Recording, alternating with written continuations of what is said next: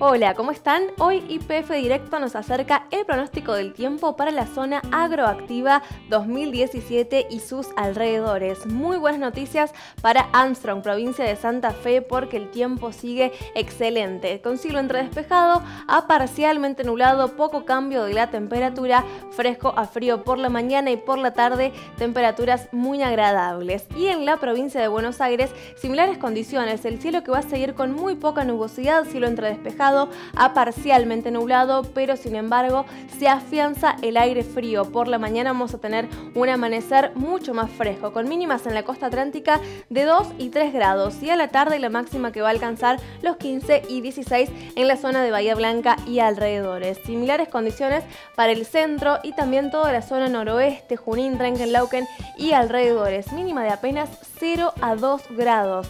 Así que atención, muy frío en la zona y a la tarde la máxima un poco más agradable va a alcanzar los 16 grados. Y finalmente en las ciudades de La Plata, Buenos Aires y todo el conurbano bonaerense, muy buena amplitud térmica también gracias a la presencia del sol con mínima de 4, máxima de 16 grados.